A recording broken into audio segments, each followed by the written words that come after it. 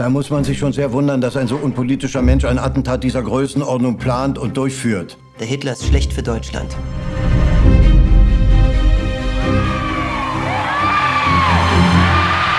Die wollen Krieg und das wird brutaler, als wir uns das vorstellen können. Eine Bombe in die Sonderabteilung schmeißen. Man muss was anderes machen. Und zwar bald. Bald und radikal. Direkt gegen die Führung. Sieg! Man kann nicht warten, bis es zu spät